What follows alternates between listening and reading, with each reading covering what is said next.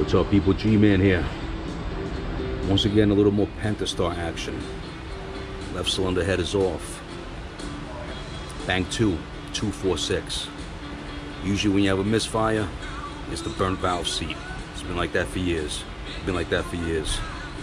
Usually when you have a misfire on bank 1, 135, you got a pretty good chance it's just an ignition coil. Very rare it's the head. Very rare. This is on a Grand Cherokee.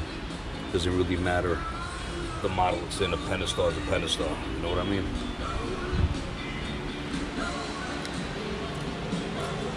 Number four, that's how the valve looks.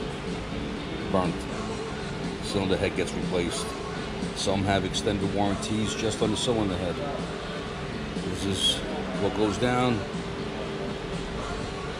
I do at least one to two a week, not counting camshafts and lifters and stuff like that. Alright guys, any questions, hit me up. Like, subscribe. G-Man out.